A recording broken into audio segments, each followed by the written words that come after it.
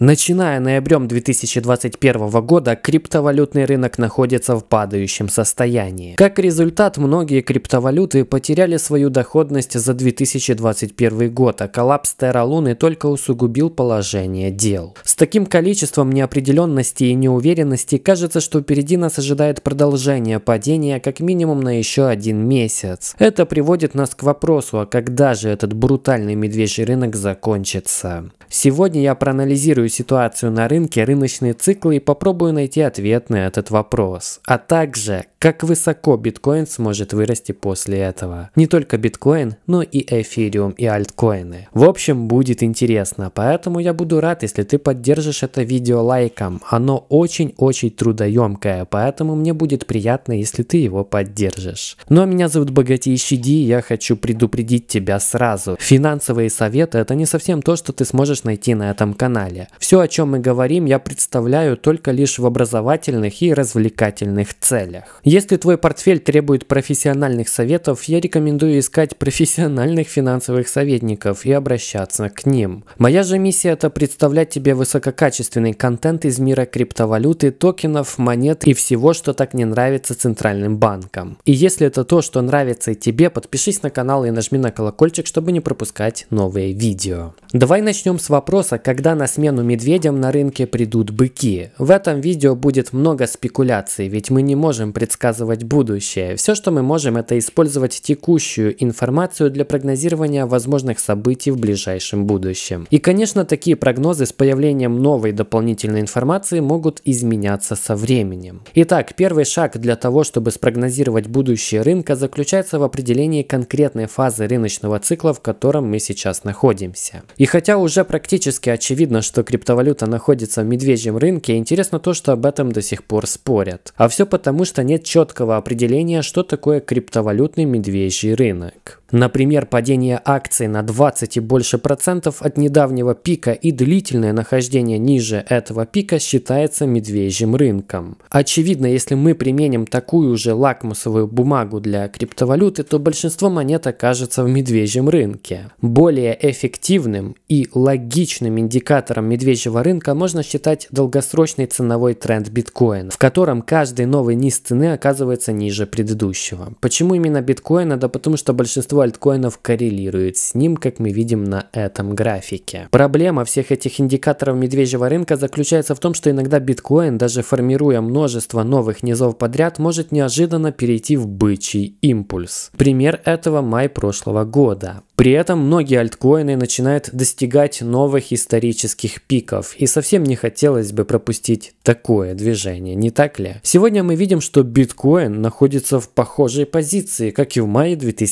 2021. Он снова формирует все новые и новые низы подряд. Означает ли это, что мы увидим такой же разворот цены, как и год назад? Возможно. Но есть множество объективно медвежьих макрофакторов, связанных особенно с состоянием мировой экономики, которые не дадут многим монетам и токенам достичь новых исторических пиков. Так что можно сказать, что мы официально находимся в медвежьем рынке, и его наступление особенно ускорил коллапс Terra Luna и Terra USD. Ты можешь узнать, что случилось с Terra Luna в видео по ссылке в описании, если еще не знаешь. Итак, теперь, когда мы признали, что криптовалюта находится в медвежьем рынке, рынке, мы можем использовать прошлые медвежьи рынки для того, чтобы приблизительно понять, когда закончится текущий и когда новый бычий рынок придет на смену всему этому безобразию. Как многие знают, криптовалютные рынки, кажется, следуют четырехлетним циклам, которые связаны с таким явлением, как биткоин халвинг. Их природа и создает четырехлетний цикл, потому что каждый халвинг случается раз в 4 года. Биткоин халвинг это когда награда майнерам за каждый блок сокращается в вдвое. На данный момент она составляет 6,25 биткоина. После следующего халвинга в 2024 году это будет 3,125 тысячных биткоина. Как говорят основы экономики, если предложение чего-то уменьшается, а спрос на это что-то остается таким же или растет, то и цена на это что-то взлетает. Вот почему раз в 4 года цена биткоина подтягивается вверх спустя некоторое время после халвинга. Последний биткоин-халвинг случился в мае 2020 и спустя полгода после этого биткоин перешел параболический рост, а весь остальной криптовалютный рынок последовал за ним. Другими словами, это был бычий рынок, который пришел на смену длительности длительному падению перед этим. Исторически, криптовалютный бычий рынок, следующий за биткоин-халвингом, длится около двух с половиной лет, как мы видим на этом графике. После чего начинается медвежий рынок длительностью около полутора лет. Это значит, что есть три вероятности в будущем. Первая вероятность. Все еще есть шанс на еще одно биткоин-ралли перед тем, как медвежий рынок снова продолжится. Как по мне, вероятность такого расклада не очень высока по ряду причин, к которым мы обратимся несколько позже, в том числе и макроэкономических. Вторая вероятность это то, что медвежий рынок начался в ноябре прошлого года, и в таком случае, учитывая исторические данные, у нас есть от 6 до 12 месяцев, прежде чем цена снова начнет разворот и бычий рынок. Третья вероятность это то, что медвежий рынок начался тогда, когда Terra Luna потерпела крах, и в таком случае у нас впереди от 12 до 18 месяцев медвежьего рынка. Третья вероятность наиболее логичная, потому что до следующего биткоин-халвинга осталось 725 дней, или же около 23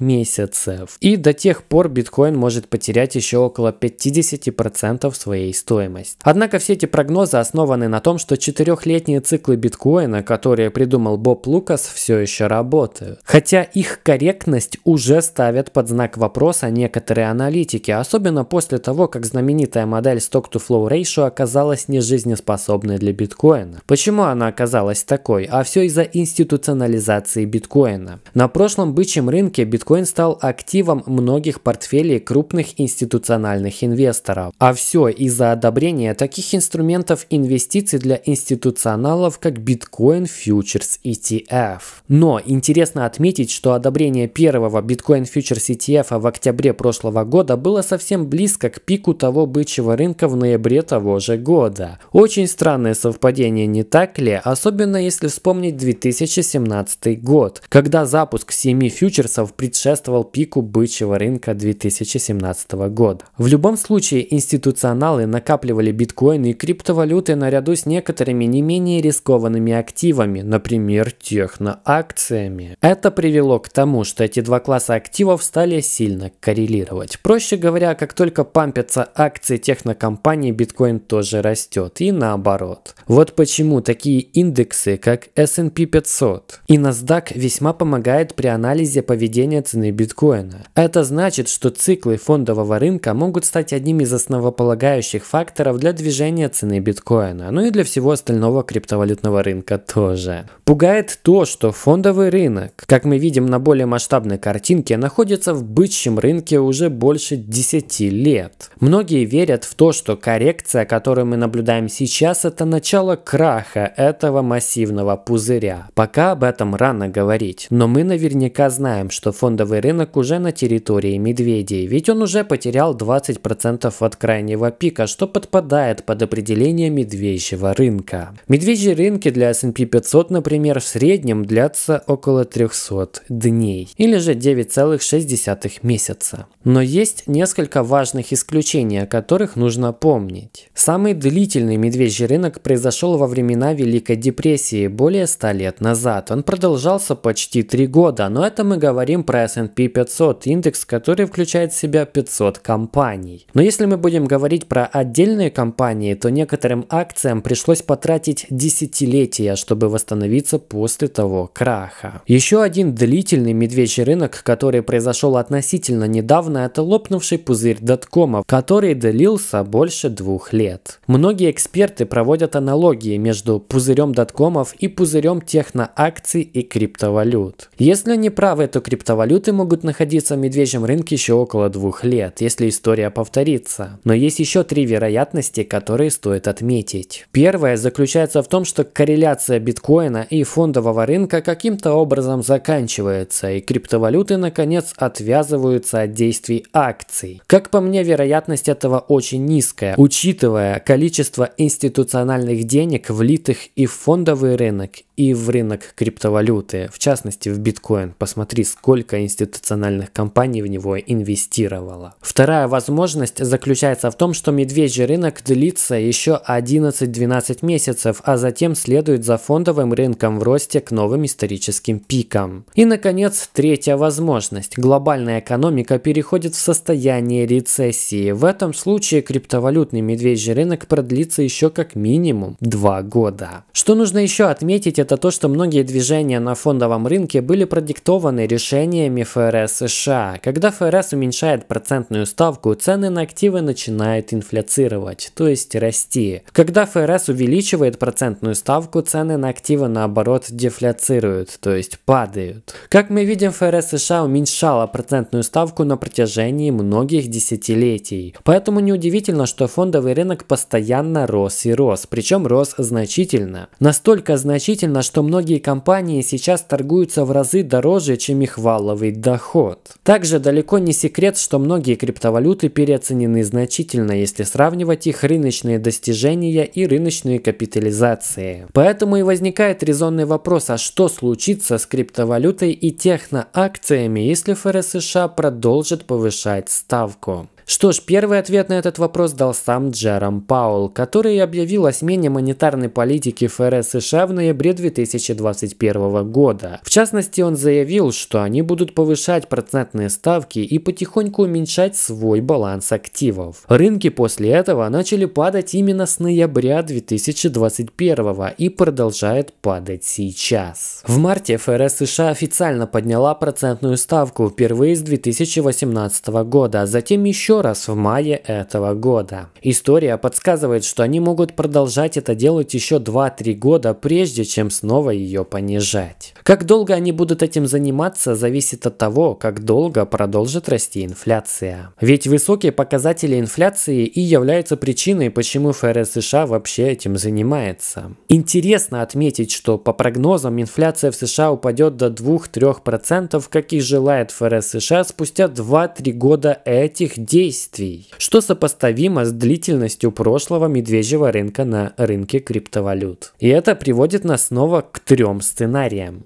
Первый. Биткоин отвяжется от действий ФРС США и ему будет все равно на рост или падение процентных ставок. Это крайне маловероятно, потому что институциональные инвесторы наоборот выводят свои деньги из рискованных активов, когда процентные ставки растут. Криптовалютный медвежий рынок будет продолжаться, пока ФРС повышает процентные ставки. А они собираются это делать до тех пор, пока инфляция не снизится до 2-3%. А на это им нужно около 2-3 лет по прогнозам аналитиков. И третий сценарий ФРС США будет вынуждена остановить рост процентных ставок, пока каким-либо причинам, что приведет к росту фондового и криптовалютного рынков. Звучит, конечно, очень хорошо, но и этот сценарий маловероятен, потому что приведет к гиперинфляции доллара США и, возможно, даже к его коллапсу. А вслед за коллапсом доллара и множество других фиатных валют потерпит крах. Наиболее вероятен, конечно же, второй сценарий. А теперь большой вопрос, как высоко может вырасти криптовалюта в следующем булране? Ответ, конечно, зависит от того, о какой криптовалюте мы говорим, но ведь все начинается с биткоина. Есть два основных прогноза для будущего цены биткоина. Первый прогноз основан на аналитике прошлых халвинг-циклов биткоина, конкретно на сколько процентов после каждого халвинга он вырос. После первого биткоин-халвинга в 2012 году биткоин дал около 100 иксов. После второго халвинга в 2016 биткоин умножился приблизительно в 30 раз. И после третьего халвинга в 2020 биткоин вырос в 10 раз. Это сравнительно небольшая история историческая выборка предполагает, что с каждым биткоин-халвингом доходность последовавших за ними бычьих рынков падала приблизительно в три раза. Этакий пример закона убывающей доходности. Если мы экстраполируем его на следующий биткоин-булран, который случится после халвинга в 2024, то можно сделать вывод, что биткоин вырастет в три раза от своей цены в дату халвинга. Какой будет цена в день халвинга, это уже каждый прогнозирует сам. Я думаю, что следующий взлет взлет биткоина приведет его цену к отметке около 100 тысяч долларов, а значит в день халвинга его цена должна быть около 33 тысяч долларов за монету. Кстати, JP Morgan дает приблизительно такую же цифру в 38 тысяч долларов. Второй прогноз для будущего биткоина опирается на его корреляцию с фондовым рынком. Удивительное совпадение, ведь в прошлых фондовых рынках бычьи рынки тоже давали от 2 до 3 иксов. Есть мнение, что биткоин может вырасти еще больше, если институциональные инвесторы будут убеждены, что биткоин – это цифровое золото. И уже сейчас многие биткоин-аналитики указывают на то, что золото уступило несколько процентов своей капитализации биткоину. Об этом говорит и несколько анчейн метрик для биткоина. Например, процент биткоинов, которые держат на биржах. Этот показатель падает с марта 2020, когда случился ковидный крах. Когда большое количество монет выводят с бирж, это означает только одно, что инвесторы как минимум стремятся их не продавать, а как максимум хотят их холдить очень-очень долго. Интересно отметить и то, что такое падение балансов биткоинов на биржах в истории биткоина происходит впервые. Действительно, до марта 2020 года мы такого не наблюдали. А вот с марта 2020 количество биткоинов на биржах падает и падает. Это говорит мне о том, что какие-то большие умные деньги уже два года готовятся к тому, что именно биткоин станет мировой резервной валютой. На это биткоину может понадобиться несколько десятков лет. И если это случится, капитализация главной криптовалюты может достигнуть десятков триллионов долларов. На краткосрочной же, более реалистичной перспективе мы имеем такие страны, как Сальвадор и ЮАР, которые добавляют покупательное давление на главную криптовалюту валюту, покупая биткоин и добавляя их в собственные резервы. Эти и другие факторы могут оправдать эти два прогноза, о которых мы говорили, но нужно помнить, что с ростом капитализации биткоина он будет давать все меньше процентов роста в новых бычьих забегах. Это и называется убывающей доходностью. Это приводит нас к вопросу, а как высоко вырастут альткоины в новом бычьем рынке. К сожалению, я не смог проанализировать все 20 тысяч альтернативных монет. Зато Зато я смог понять, что интерес институциональных инвесторов к альткоинам только растет. Особенно к монетам, которые представляют площадки смарт-контрактов и DeFi токены. Это подтверждается тем, что для альткоинов создается все больше биржевых продуктов, что делает покупку таких альткоинов проще для ряда финансовых организаций и институтов. Я убежден, что изучая активы под управлением таких организаций и институтов, можно понять, в каких альткоинах и как сильно они заинтересованы. Исходя из информации ресурса Just ETF, мы видим, что кроме биткоина, институционалы заинтересованы в Binance Smart Chain, Эфириуме, Троне, Solana, Cardano, Polygon, Ripple XRP, Tezos и Avalanche. Весьма возможно, что в будущем Булране именно эти альткоины могут вырасти больше остальных. Некоторые из них могут в итоге добиться такого же процентного соотношения в портфелях институционалов, как и биткоин сейчас сейчас. В случае с эфириумом это уже происходит. Кстати, и биткоин, и эфириум в этом падающем рынке потеряли уже около 50% стоимости от пика. Исторически эфириум обычно падал больше, чем биткоин. Но сейчас они падают одинаково, и это может указывать на то, что инвесторы сегодня видят эфириум как что-то большее, чем просто еще один альткоин. А некоторые инвесторы, как Рауль Паль, например, считают, что эфириум следует следами биткоина, отставая от главной криптовалюты на один криптоцикл. Поэтому Поэтому они и говорят, что покупать эфириум за 2000 долларов сегодня, это все равно, что покупать биткоин за 2000 долларов в прошлом цикле. В прошлом бычьем рынке рыночная капитализация биткоина достигала 300 миллиардов долларов на пике его цены в 2017 году. Это совсем недалеко от той рыночной капитализации, которой эфириум достигал осенью прошлого года, когда также находился на пике своей цены. В этот же момент биткоин достигал капитализации в 1,2 2 триллиона долларов. Если эфириум достигнет такой же капитализации на следующем бычьем рынке, его цена будет более 15 тысяч долларов. Что касается конкурентов эфириума, таких как Cardano, Solana и Avalanche, с ними может произойти такой же феномен. Только они будут следовать уже за эфириумом, а не за биткоином. Можешь взять калькулятор и посчитать, сколько будет стоить на следующем бычьем рынке ADA, SOL и AVAX, учитывая их доступные предложения и предполагаемую рыночную капитализацию в 1,2 триллиона долларов. Заканчивая, я снова хочу напомнить, что эти прогнозы являются спекуляцией, основанной на спекуляции. И должен уточнить, что все конкуренты эфириума бьются за внимание одних и тех же пользователей и разработчиков, которые вправе сами выбирать площадку, будь то Ethereum или Cardano. Таким образом, кто-то сможет привлечь внимание, а кто-то уйдет вниз, оказавшись ненужным и забытым проектом. Это очень важно понимать. Кстати, именно потому, что у Эфириума столько конкурентов, которые кусают этот пирог, эфир не смог достичь 10 тысяч долларов в прошлом бычьем цикле. Также это мешает эфириуму обогнать биткоин по рыночной капитализации. На этом все. Если ты нашел видео интересным или полезным, не забудь поставить лайк. Это очень помогает и каналу, и мне. Если ты не хочешь пропускать новые видео о криптовалюте, не забудь подписаться и нажать на колокольчик. Так ты точно останешься в курсе всех событий. Ну а меня зовут Богатейший Ди. Спасибо за поддержку и увидимся в новых видео. До скорого.